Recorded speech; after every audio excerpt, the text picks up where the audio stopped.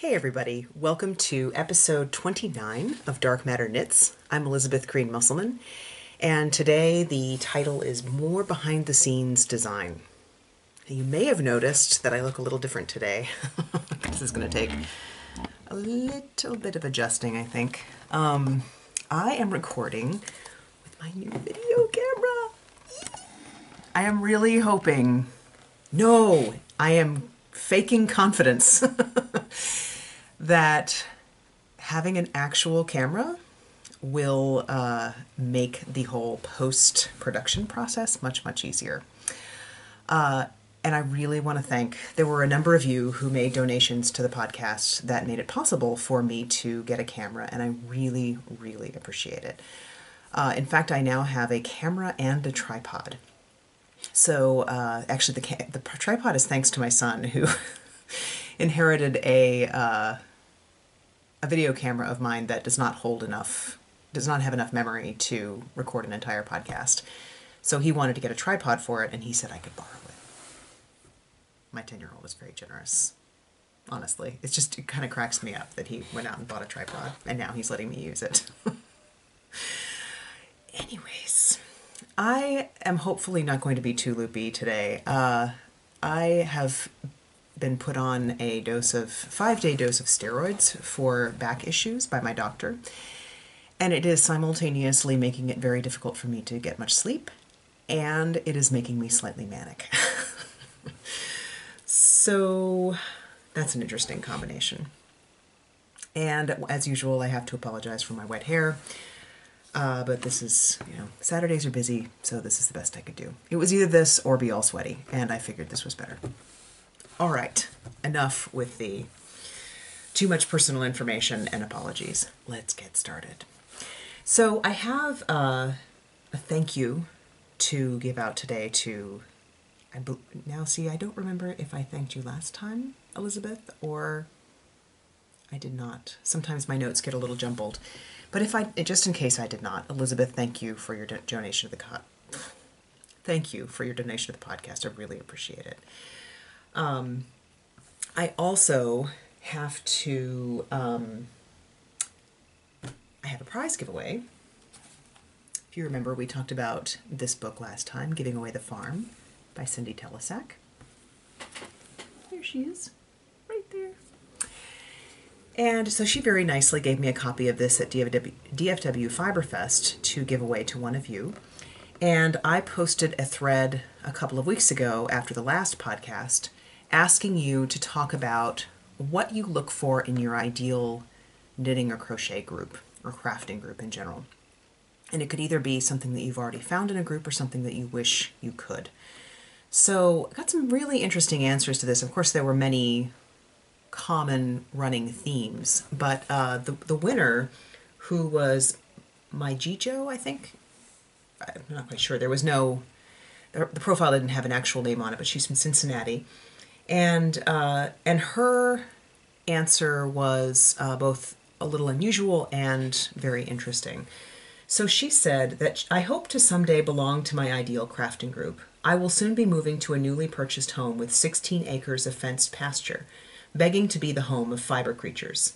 There, I hope to mirror the philosophy in which Cindy Telesack's uh, that Cindy Telesack shares in regards to not owning the farm, but being a custodian custodian of the land, where my job will not only run be where my job will be not only to run the farm but to share it with others. A big dream is to offer a fiber studio where folks can gather to learn, teach, and share their love of fiber and other crafts. Along with unstructured meetings where one brings their work in progress to enjoy the company of others, I would love to have events to learn new techniques and or hobbies. The members will be diverse in their abilities and their crafts, as well as in the stereotypical demographics. It will be a place where everyone knows your name. Long and strong friendships will derive over the time one makes stitches. Regardless if this is a group meeting at my farm or any other domain, it will be a place that all who attend will feel welcome, appreciated, and loved. So that is lovely, and I wish you all the best in getting that started in your new place. I think that's definitely very much in the spirit of this book, so it makes me very happy that I get to send this to you. So I will, uh, I'll wait for you to get in touch with me. Just send me a personal message on Ravelry, or you can contact me by email at darkmatterknits at gmail.com and just send me your full name and your mailing address, and I will get this to you. And thank you all for. I always it's always really interesting to me to read your answers to those uh, giveaway threads. They're they're always very interesting. Hang on, I need to pause this for one minute and look up something. Be right back. I always think I'm being so thorough when I prepare for a show, and then I realize as I'm starting to talk that I've forgotten to do something. Got it all sorted. So I have uh, another couple of announcements to make before we get into the heart of the matter for today. One of them is that uh, I was contacted by uh, a woman named Brittany, Moonbeam Makes on Ravelry, who asked me to mention to you that she has a Kickstarter campaign going on that is running through April 17th. So there's about another little less than a week for this campaign. And um, the, the basic idea is that she is creating a new line of hand dyed yarns that uh, she sources herself and um, has it custom spun near her home. So it's the idea behind the business is to create a, a line of hand dyed yarns that has as small a uh, ecological footprint as possible, which is a very worthy cause. And uh, and she's clearly done a lot of research about what's available in her area to make this possible. And her dye work is beautiful. So I did want to mention it to you. Um, I will put a link the, the link is a little long to just, you know, kind of spell out out loud. So I'll put a link to it in the show notes and I would, uh, if there are those of you who like to support those kind of campaigns, I would certainly encourage you to go look at that. Um, I also wanted to encourage you if you are already participating and pro- probably a little too late to unless you knit really fast to join the Blocare Cap knit along on in our Ravelry group.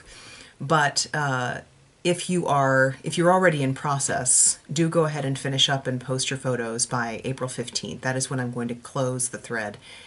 And um, and i will shortly thereafter announce the winners of the prizes that i showed last week and i'll make sure to make a brief mention of it well will i talk about it on the next podcast i may or may not we'll see uh, because by then i probably will have already mailed off the prizes so i'm not sure it will really make a whole lot of sense to re-announce it on the show. But uh, if you are interested in who wins the prize, I'm just going to do a random drawing. So go ahead and post your your photos of your finished hats in the thread, and I will make sure to account for them when I'm uh, tallying up.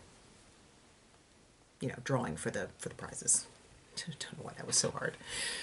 All right. Um, what I am knitting, I am still working on my honey cowl because I have mostly been doing work knitting.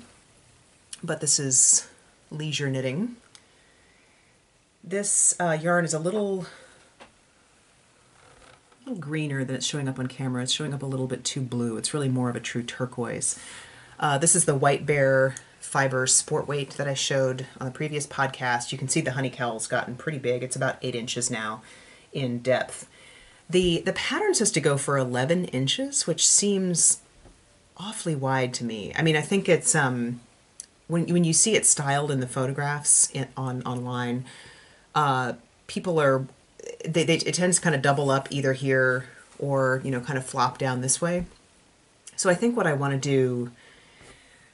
This is my second skein, and each skein I think has about uh, 240 yards in it, maybe maybe no more like 300 yards.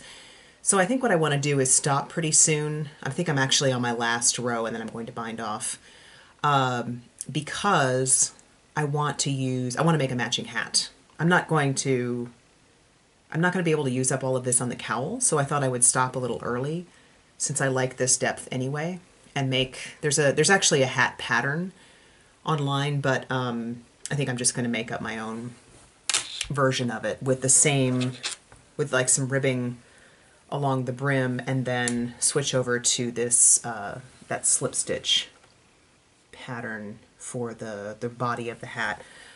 Um, you may remember I talked about last time constantly messing up this pattern. For some reason that has stopped. I haven't really had that problem since I think I've kind of gotten into a rhythm where even if I'm not paying that much attention to the stitch pattern, it kind of um, I can I've got a sort of uh, muscle memory version of the rhythm now where it's like purl, slip, purl, slip, purl, slip. So it doesn't, uh, I don't get off quite so easily, even if I'm not fully focused on it. So that's good. it's going along a lot faster since then. And it is a lot longer than this. It's just a little bunched up because this is the length of cable I happen to have handy. Um, is there anything else I want to say about this? I'm working it on a size 6 needle. You're actually supposed to use DK for this pattern, but uh, this was a fairly thick sport weight, it seemed like, and it's a cowl. You know, it doesn't really particularly matter whether the gauge is, is spot on or not. And to decide how many stitches I wanted for the hat, I'm literally just putting this on my head. and until it's on and then kind of stretching it until it feels like, okay, that's not going to constantly slip down over my eyebrows. Taking it off. See, I've got it pinched right here and then I'm just counting how many stitches across that is. Cheapers, that looks big. I have an enormous head. I think my head is like 24 and a half inches or something like that. So I'm just counting, you know, how many stitches is that across there, and that's what I'll, that's how big I'll make my hat. And now I've got yarn wrapped around my neck and hair all over my desk. Wow. I am a hot mess right now. So that's what I'm working on. That should be done by the time I see you next, and I will probably have the hat started. And I'm thinking, I'm kind of getting in the mood for something in terms of my leisure knitting, something a little more complicated. So I'm thinking about either, well, this one wouldn't be too much more complicated, but just ever so slightly.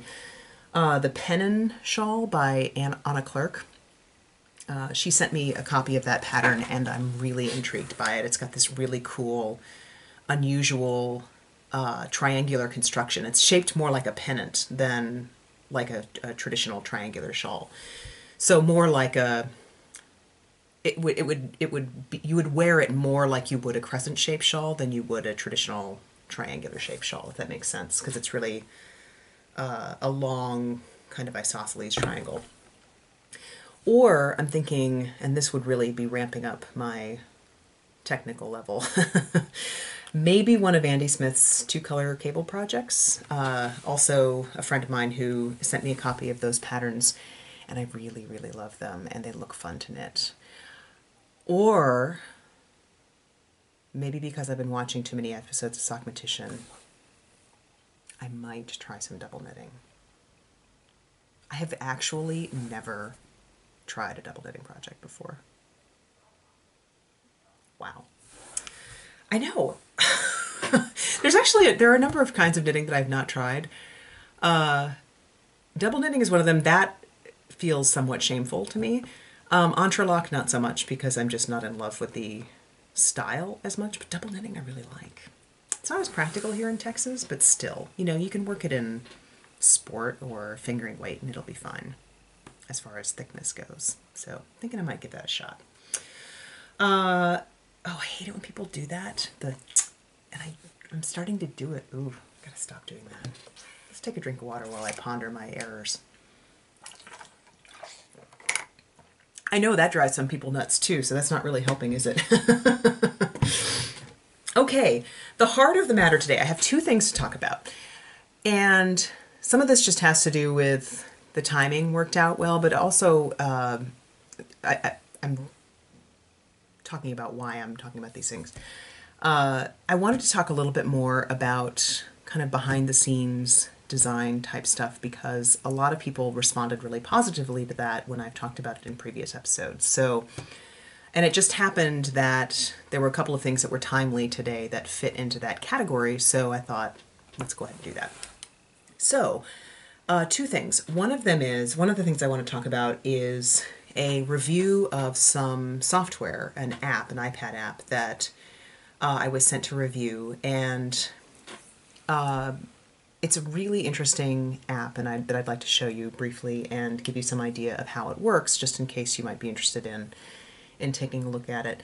Um, and the the app developers have very kindly offered to do a giveaway of a, a annual subscription, a one year subscription to the app. So that is very cool.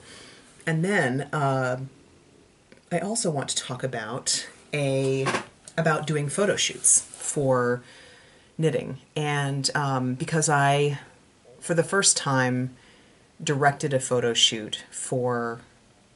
Like I've I've taken photographs of my own knitting and, and so on, but I've never actually been in charge of a massive photo shoot with dozens of projects.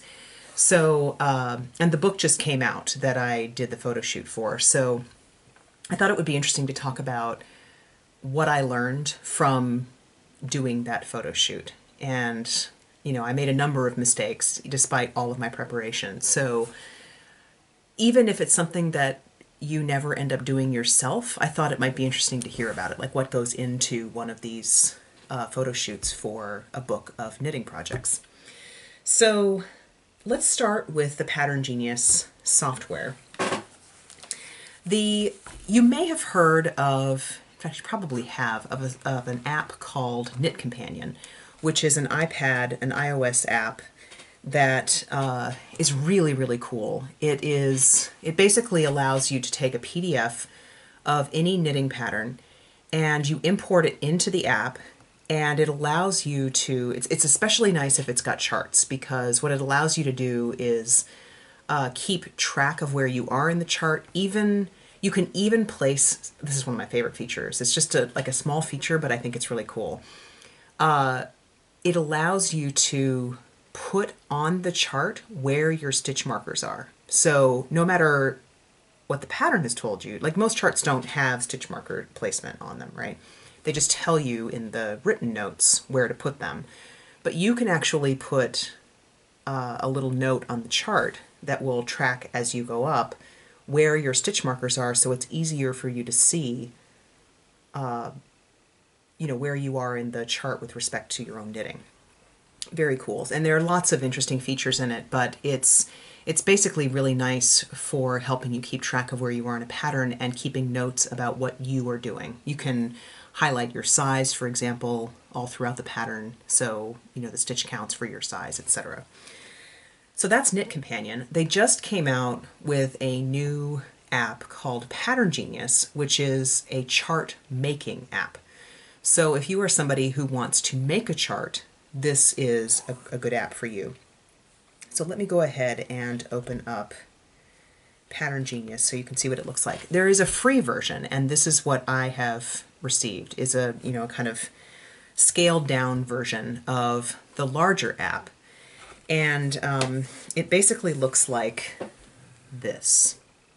So what what opens up when you open up the free version is a empty grid. I've already started drawing some some little icons in there or some symbols I mean and you're in the I'm, um, you're deposited initially into the project section.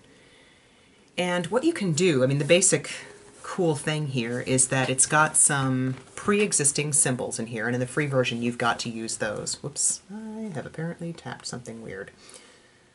Stop it. Grandma's oh, birthday. no. Go, everyone. No. Mom. No. I don't know what was I must have tapped on some ad or something. Okay, so there are all these pre-made symbols, and in the free version, those are the ones you get. In the paid version, you can make up your own, and and there's a more expanded library of existing um, symbols. But you tap on what you want. Like, let's say I want to use, I want to draw a purl stitch. It's got the dot and the dash, depending on which one you want to use. Those are both accepted symbols for purl. And the nice thing is that when you tap on it, let me see if I can do this fast enough so you can see, it tells you that's a slip one. I just tapped on the slip one symbol, or I tap on this, maybe I don't recognize it, that's a purl one through the back loop. So it tells you what the symbol is, and then it's got it highlighted in red, that purl one through the back loop. And then as I tap on the screen, I can put in the symbols. I wonder, I haven't tried this yet. I guess I, I guess I would need to tap the empty knit stitch and tap it again to erase it. So really cool, and um, you can you can see up here at the top. There's the basic version, there are increases and decreases. So when you switch, you get a whole list of increases and decreases. So there's quite a bit of symbols in here, even in the free version. Um, you get elongated stitches. So when you're, um, well, I don't know, whatever. Texture, cables. There aren't a lot of cables in here, but there are some. Presumably there are more in the paid version. And color work. So you can choose one of the colors and, like, let's say I choose this. Nope, I got to upgrade to color. I have to upgrade to the paid pattern. Um, so yeah, apparently for color work you would have to actually uh, use the the paid version. But um, for symbols, if you wanted to do any lace, especially lace charts or kind of simple knit purl patterns or uh, or cabling, simple cabling, you could use the the free version. And it's just kind of nice. I mean, I think really what the free version is is just a way of kind of testing this out to see if you like the interface. If you're really going to make charts, you probably need the paid version, which, by the way, is um, it costs sixteen dollars a year.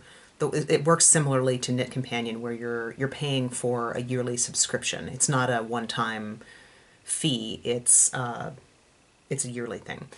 And I should also say that this is only for iPad. I mean, I've, I think I've kind of implied that as we've gone along, but and I, I know they've gotten a lot of complaints about this with knitCompanion. It's just that, um, and I, I believe they've just recently developed an Android version for um, for knitCompanion. It's just it's a huge amount of it's a two person company and it's a huge amount of time to develop it for a whole other uh, interface. So that's why it's happened that way. Um, there are all kinds of cool things that in the paid app you can do like um, in the in the larger version you can uh, copy and paste whole sections. So you know if you think about a lot of charts have repeats that you could just copy and paste over instead of having to draw them over and over again. You can also mirror things. So you know if you think about a, a cable you could you know either flip it up like this or you know flip it out like this so that again you're not having to you know just draw in every single individual symbol. So it's real it's a, a really good app and you know there are other chart there is other chart making software that you can purchase. Um, i think if you if you really enjoy working on a tablet and you know when i think about when i'm designing I often I, re- I don't like being at the computer when I'm designing. You know, when I'm I'm typically kind of knitting and writing down. I tend to hand write out my notes as I'm going along, and I often hand draw my charts as I'm as I'm knitting up the sample. It would be nice to be able to draw a chart on a tablet instead of having to be at my computer, but also not have to transcribe it. You know, from like I don't want to sit at my computer and knit but it's also kind of a pain to have to hand draw the chart and then come over and transcribe it into Illustrator, which is what I use for charts. So um, this is a nice, you know, kind of middle ground where you can get a professional looking chart, but not have to sit at your computer at the same time. So I really like that. And, you know, it occurred to me too that this is the kind of thing that might be really useful even if you are not actually planning to design anything yourself because um, you may, for example, want to just draw up your own chart to do a hat or um, you know make some changes to a chart and you know kind of redraw it out for yourself. Like maybe if you're changing the gauge on something and you want to eliminate a column a couple of columns of stitches to you know kind of narrow, make narrower the hat or something like that, uh, you could use this to kind of personalize an existing chart to, you know, make your own stuff. So it's, um, I think the interface is really intuitive. It's pretty clear what each of these buttons is supposed to do. And, um,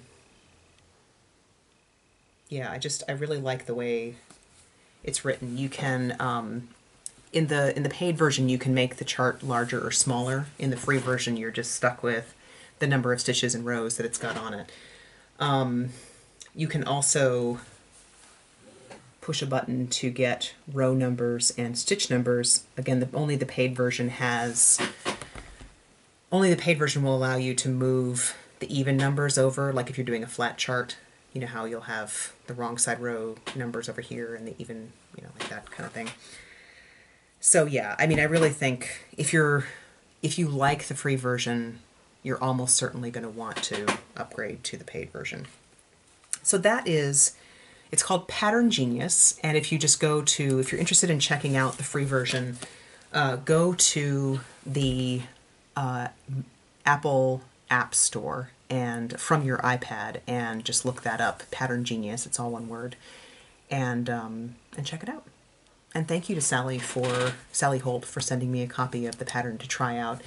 Uh, she has, as I mentioned, offered to give away one free subscription. So it's a one year subscription to the app. And the question I'm going to pose to you is what are some of your favorite features or pet peeves when it comes to charts? So, and I would just ask that if you if you are going to to enter to win this, um, like like really do have a some idea of how you might want to use it. Like again, you don't need to be a professional designer or anything, but I'd really like for somebody to win this who thinks I really would like to use this. So we don't need a whole lot of you don't need you know a huge number of people to enter. I don't I don't feel bad when there are only twenty or so people who enter to win something. What I like is when somebody wins something, and I think, oh, they're really gonna they're really gonna get a huge kick out of this. Like when I was at DFW Fiberfest and Diane of the Suburban Stitcher podcast won one of Franklin Habit's lace patterns, and I thought, now she is actually going to knit that shawl. you know how you, sometimes people win stuff and you're like, they're never going to use that. Like you know them and you know like the the prize just totally doesn't fit them. That's always a little sad. Okay, so the other thing I want to talk about is uh, is about photo shoots and specifically the photo shoot for this book, Defarge Does Shakespeare, which is edited by Heather Ordover, who many of you know from the CraftLit podcast. And uh, I was the, I contributed a design to this book, and at the time that this book was uh, being produced, I was the book designer for Cooperative Press. I'm no longer doing that, but uh, this is one of the fi- last projects that I've wrapped up with them. And so I did all of the the layout, but in addition, what I did for this book that I hadn't ever done before was I also did the photo shoot. So it was a really interesting process to go through. I wasn't the photographer, so we hired Caro Sheridan, who uh, has done a lot of professional photography for for the knitting community, and uh, and she, in fact, if you, I would highly recommend her craftsy class about photographing um, crafts for. It's especially useful if you're doing any kind of craft product photography, like if you're a knitting designer or make any kind of jewelry or you know sell any kind of craft products online. It's a really good class on how to take good photographs of what you make. So so Caro Sheridan was the photographer. She flew down from Toronto where she lives. And and then we had uh, several models who well they're not professional models, they're actually former students of mine, the two women who did most of the modeling for the book. Uh, one of them had graduated recently, and the other uh, probably about a decade ago. And uh, Brianna and Emily, and they did a wonderful job. Um, so what I was doing was basically kind of acting as the the stylist and organizer and overseer of the shoot, and I did all of the research to decide how to set up each of the shots and I it was a it was really interesting to me how much research it took to make all this work. I mean, part of it was just the logistics of finding the right place and the right time, right? So we had a photographer coming in from out of town, uh, two models, and we needed a place and we needed it to be reasonably certain that it was not going to be, you know, a terrible weather, which in Austin I mean, we get about 300 days of sunshine a year. So, you know, if, if you're going to be able to find a good day anywhere, here is probably a good bet. But still. So I found this, because this was Shakespeare themed knitting, right? I thought, I was trying to think, you know, what would be a good outdoor location? Because outdoor lighting is usually optimal for shooting knitwear. What would be a good outdoor location that kind of bespeaks Shakespeare, right? So there is a an outdoor theater that is owned by the city. It's right near one of the uh, the swimming pools. It's the Zilker Hillside Theater, and they perform kind of Shakespeare free Shakespeare plays outside in the summers. So I thought, well, this would be perfect, right?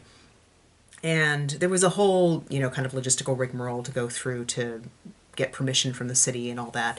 And it turns out I'm really glad I called instead of just, you know, kind of going through the online process because when I called, they said, oh, well, if you're if you're doing a, a photo shoot for, you know, kind of a small organization, we had this whole other separate process where you don't have to pay a huge amount of money. It's a fairly nominal fee, actually, if you're doing, uh, you know, kind of small scale photography or, or filmmaking. So, you know, it ended up being a lot cheaper to rent this place than I would have thought.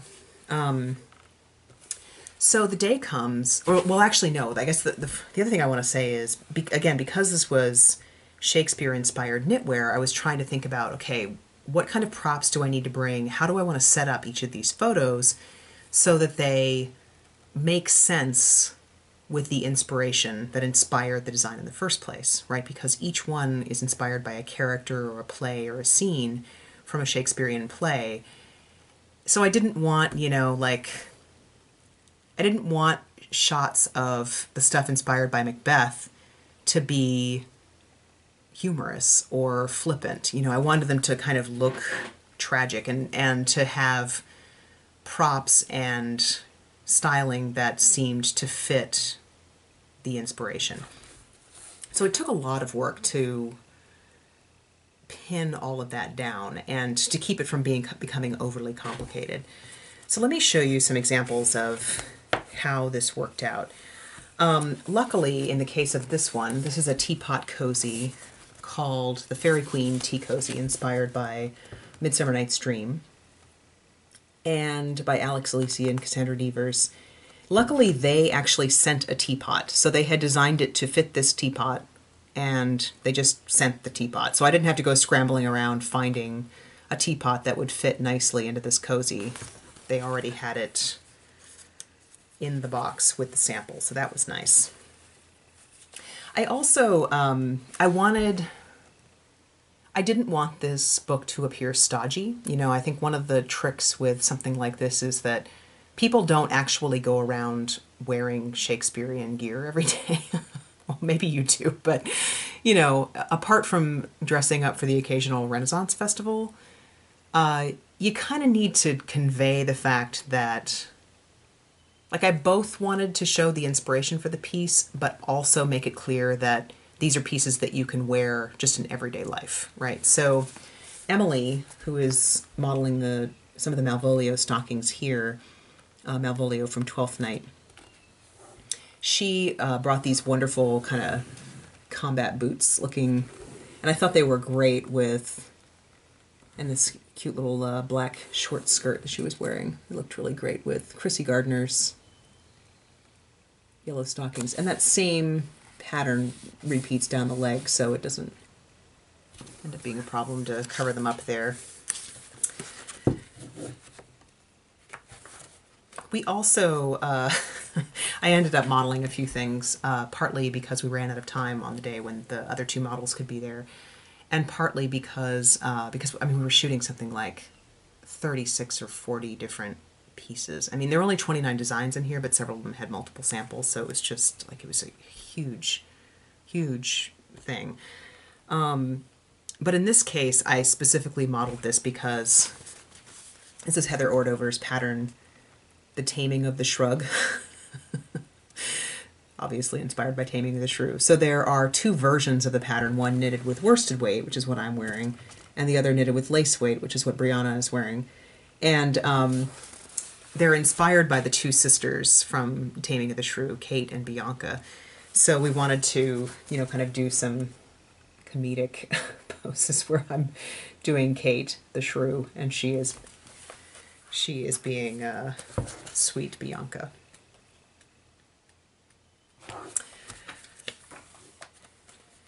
I had to borrow some props. This is a, a wonderful folio of uh, of Shakespeare's plays that one of my neighbors actually let me borrow. I put out a, I was a little getting a little desperate, and uh, so I put out a, a note on the neighborhood. No, I, I put a note on Facebook asking if anybody local could let me borrow a nice looking book of Shakespeare because we needed it for these bookmarks and a few other shots. So my very lovely neighbor Claire let me borrow this wonderful book because it's called Prospero's Bookmarks, so we have it open to the Tempest. I also borrowed my son's plastic snake for this uh, Cleopatra inspired necklace by Beverly Army Williams, which I just think is lovely. It's a uh, it's hairpin crochet, and I mean in a, in a way the the plastic snake is a little bit cheap. I was worried it would look cheesy, but it actually looks pretty great. And Emily just happened to bring this stunning red lipstick, which ended up being perfect for the drama of the, the shot. And I love this other one of her smooching the snake.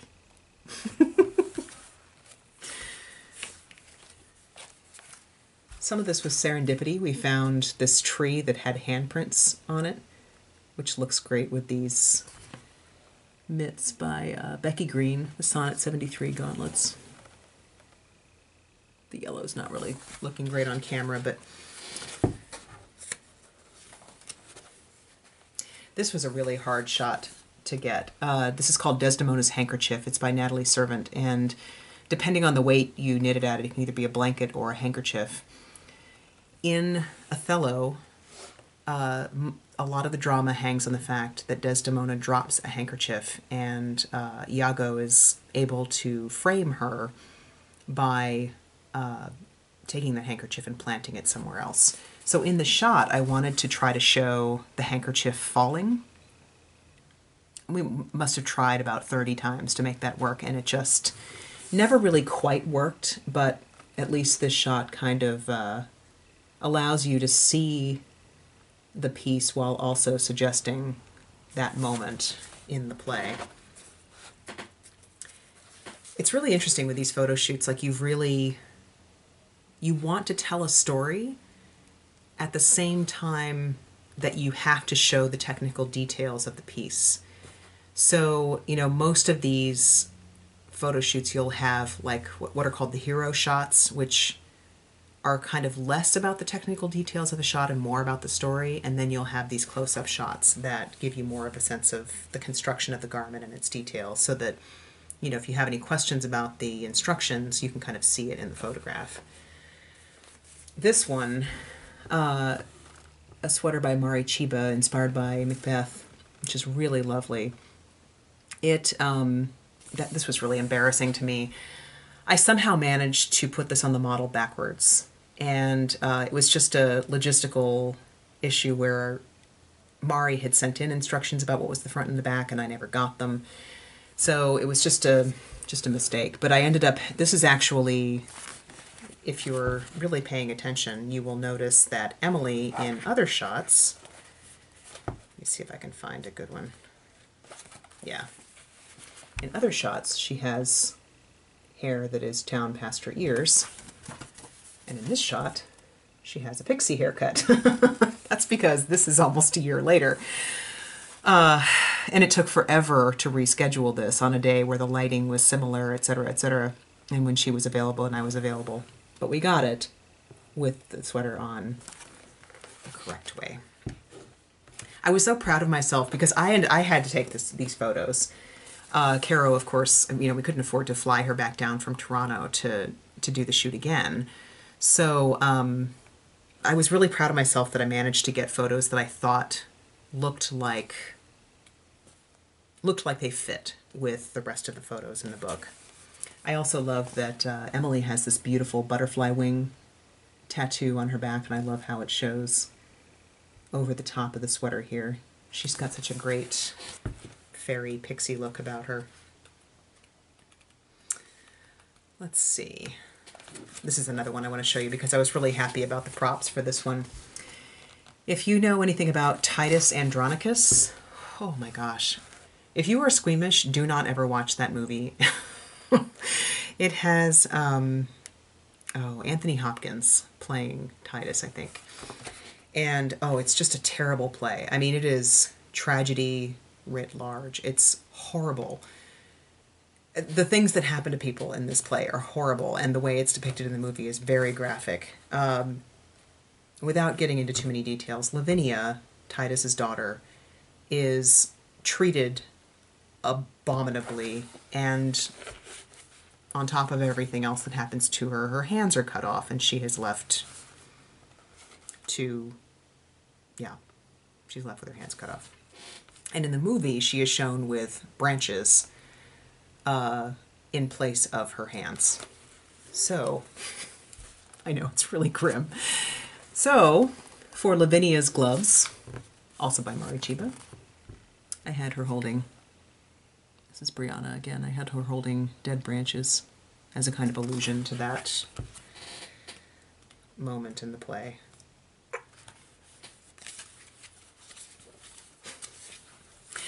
I also really like the staging for this one. This one I planned out ahead of time also. Ophelia's Watery Scarf of Death. by, again, by Alex Alisi and Cassandra Devers. This really pretty wispy shawl with little flowers that you attach. Obviously inspired by Ophelia from Hamlet. So it's supposed to look, you know, very watery with, you know, as if she's floating in the water um, at her, you know, the moment of, that she offs herself. So I wanted to to show that kind of watery nature of the shawl, and also um, suggest that is it Millais? I think it's a late 19th century, very famous painting of Ophelia floating in the water. So uh, that is what this picture is about. The pillow, I feel a little bit bad because it just kind of, it's a little bit distracting but it was a pillow in my car. Uh, poor Brianna was so uncomfortable lying on these rocks that uh, I did it as a mercy to her, even though it does uh, kind of detract a little bit from from this from the shawl. Too soft-hearted. What can I say? I also bought these flowers specifically for Ophelia's Garden Mittens uh, by Rosemary Cox because in Hamlet, Ophelia uh, before her death uh, is handing out in a famous scene is handing out flowers to people to kind of chastise them for the way that she's been treated and um, so obviously those had to be pictured with with flowers last one i want to show you so a few uh, a few of these shots i had to do separately because um, either because of timing or uh, in this case because uh, I didn't want to try to have to schedule a baby during, you know, on a day where we had all these other shots going on. So this is actually a separate shoot that I did with Ezra, who is uh, the baby of, well, he's now a toddler, but baby of a friend of mine. think he's so cute. This uh, sweater is Exeunt Pursued by Bear, which is a uh, stage direction from The Winter's Tale. And uh, she made this, Amy Tieskowitz, I think is how you say her name uh, designed this really cute little baby vest with bear ears to uh, inspired by that line. And uh, Ezra was it is such a I know I knew from watching his pictures on Facebook that he's constantly smiling and looks adorable in all the pictures that his moms take of him. So I thought this kid's gonna if a baby is ever going to be easy to photograph, this kid's gonna be it, and sure enough, he is. And right there next to him, I uh, just to kind of give him something to play with. This is actually a free pattern that was given out to people who pre ordered the book uh, called Wee Will, designed by Donna Peyton. It's a Shakespeare doll that looks like Shakespeare, so I kind of tucked him in the book to partly to give Ezra something to play with, but he immediately dumped Shakespeare on the ground and then started smiling at his mom. Whatever, that works too. So, yeah, um, the whole process was really interesting, and I guess what I would say is, uh, as far as lessons that I learned, number one, it is a really good idea to have one person who is doing, if you're going to be shooting more than one knitted piece or crocheted piece, uh, have a person who is doing taking the photographs and then have a person who can be doing all the other stuff.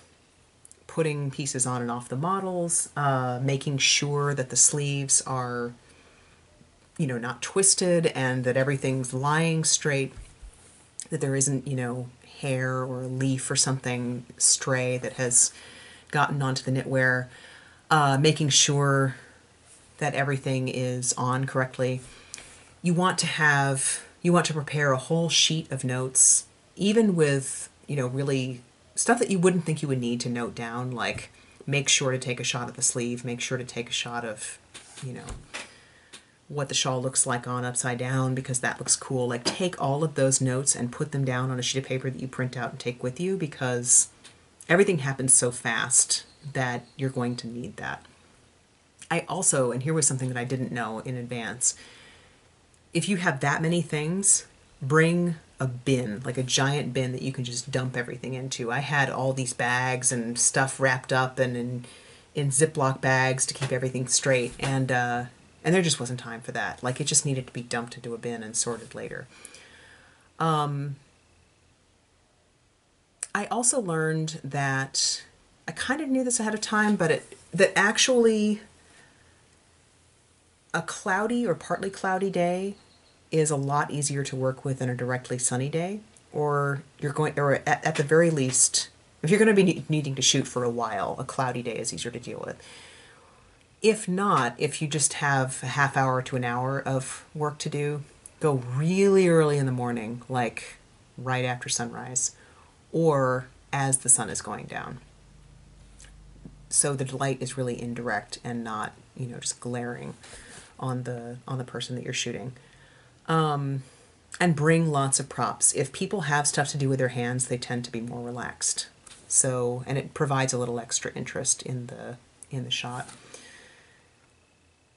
And I th- yeah, I think that's. I mean, there's more to it than that, but I think that's that's probably enough for now. It was it was a really interesting experience. I'd like to do it again. Um, I don't do the photo shoots for the business that I, I do now, Stitch Definition. My partner Anne does all the photo shoots for that, but I'm I'm doing one with her this summer where my stuff is being photographed and she's running it. So I'm really curious to see how she does those. She is the person who organizes them, and then she hires a photographer to take the photographs. So I'm really looking forward to watching her work to see how she plans all of this stuff. I believe that is it for today. Oh no, I need to do my technique segment. What I thought I would talk about today, since I had talked about uh, drawing charts, is um, is how to is a little bit about how to read charts and how to feel more comfortable with them. I know a lot of people, even very experienced knitters, really don't like working with charts. That they much prefer written instructions and find charts really difficult to manage. Which is something that I've never never really felt, but I kind of understand it. And here's one of the things that I think a lot of people struggle with. It's that particularly if you're working on something where it's flat, so you're not working in the round, you're working back and forth. Uh, one of the difficulties is that, of course, that a chart shows you the right side of the work. So when you're working the wrong side rows, it can be really confusing because you are like what looks like a purl stitch on the chart is actually supposed to be work, worked as a knitted stitch. So let me explain a little bit about how that works and why. Um, I'm going to use the chart from, let me see if I can find a, a simple one that will not give too much away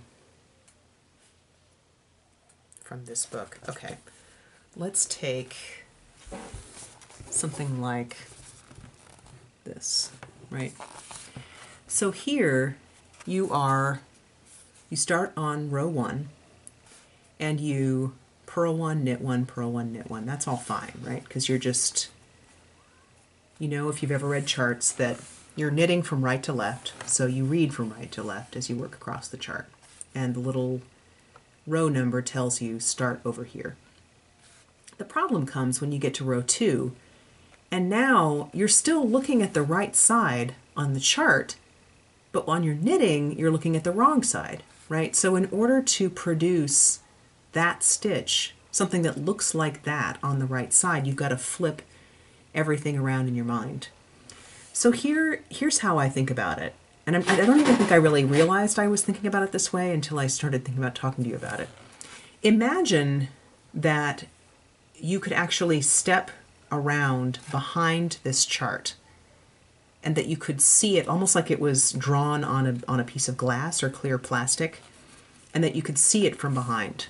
And you know, if you've been knitting for a little while, that a purl stitch is basically a backwards knit stitch. It's just the reverse side of a knit stitch.